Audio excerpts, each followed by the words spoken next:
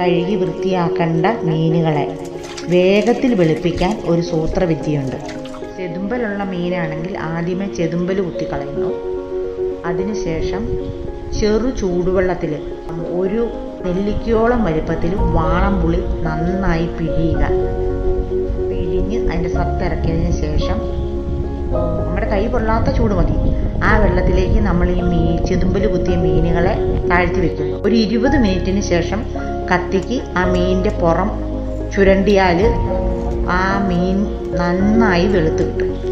ഇതുപോലെ വെളുത്ത് കിട്ടും.